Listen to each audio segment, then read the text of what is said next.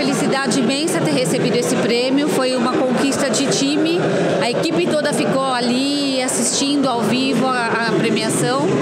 Então eu agradeço muito e